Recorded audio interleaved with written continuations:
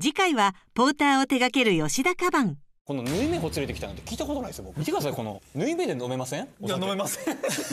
だいたい夜中の2時までして朝6時から。X 年後の関係者たち毎週火曜夜11時。